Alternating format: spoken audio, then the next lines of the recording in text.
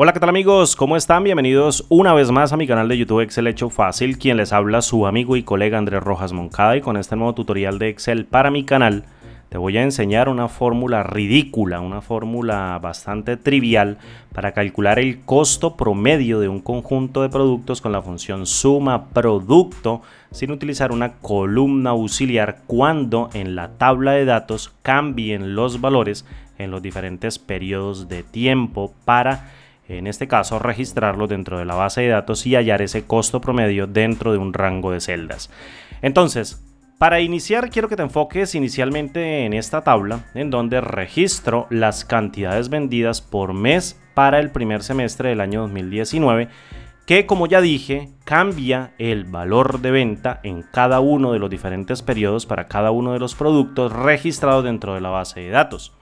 Es decir, tenemos 5 productos. Aquí están. 1, 2, 3, 4, 5. Producto 1, 2, 3, 4, 5. Para el periodo de enero, en donde tenemos un costo, en este caso registrado, un costo de venta registrado en esta columna valor con unas cantidades vendidas. Y posteriormente registramos en el periodo de febrero o para el periodo de febrero, en estos eh, rangos de celdas o en este conjunto de celdas para estos cinco productos,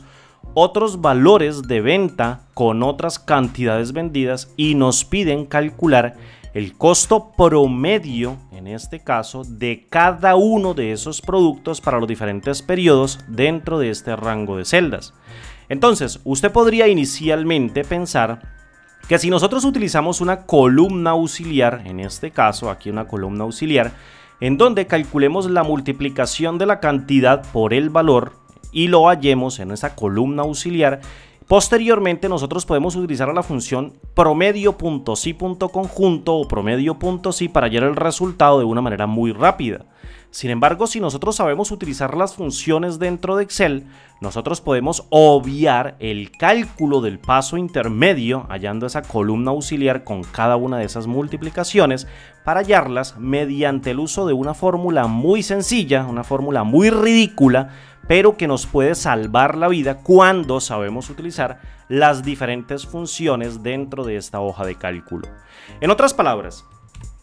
si yo utilizo a la función suma producto que multiplica los diferentes elementos o los diversos elementos que pasemos en cada una de estas matrices que corresponden a cada uno de esos argumentos y posteriormente de hacer la multiplicación la función suma producto calcula la suma, nosotros podemos pasar en la matriz 1 esta columna cantidad con cada uno de estos valores y posteriormente en la matriz 2 pasar cada uno de los valores de venta para cada uno de los periodos, para cada uno de los productos, en donde en la matriz 3 podemos hacer la identificación o el filtro en este caso, para el producto que queremos hallar ese costo promedio mediante una sencilla igualdad y la conversión de una matriz booleana en una matriz de unos y ceros que multiplique cada uno de estos elementos de cada una de estas matrices y devuelva el resultado de manera correcta.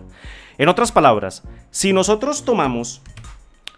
y abrimos paréntesis en este caso y tomamos toda la columna denominada productos que contiene cada uno de los nombres de esos productos y establecemos una igualdad con el producto que queremos buscar o con el cual queremos hacer ese filtro, fíjese detenidamente que si yo evalúo, en este caso, esta igualdad, lo que obtengo es una matriz booleana de falsos y verdaderos en donde un verdadero representa la identificación de este producto dentro de cada uno de los elementos de esta columna y posteriormente puedo convertir cada uno de esos valores de verdadero en un 1 multiplicando esa matriz en donde un valor de falso representa un 0 y no corresponde a la identificación de este producto en cada uno de estos elementos en esta matriz de valores. Es decir, si yo en este caso multiplico el retorno de esta igualdad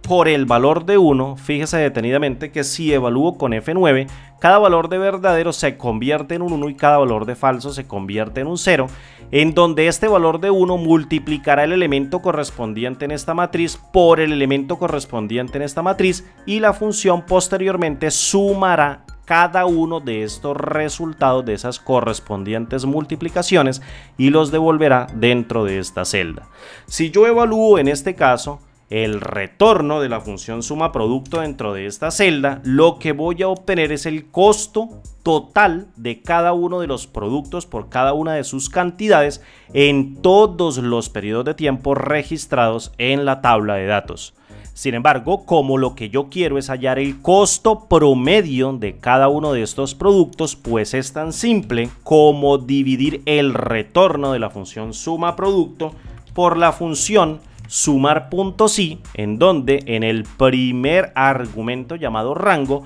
pase todo el conjunto de elementos que corresponden a los nombres de los productos, es decir, el rango de criterios. En el segundo argumento pase el criterio que quiero buscar y en el rango de suma pase todos los valores que corresponden a esas cantidades vendidas y posteriormente evalúe la fórmula dentro de la celda. Es decir, si yo cierro el paréntesis de la función sumar.si y evalúo con control intro, fíjese que calculo el costo promedio de cada uno de los productos sin utilizar una columna auxiliar que multiplique cada uno de estos dos elementos para posteriormente utilizar a la función promedio.si o bien promedio.si.conjunto. Entonces, ¿qué nos queda como conclusión de este video? que si nosotros sabemos utilizar a las funciones de manera correcta en esta hoja de cálculo, podemos evitar pasos intermedios para devolver resultados de una manera profesional y muy muy sencilla.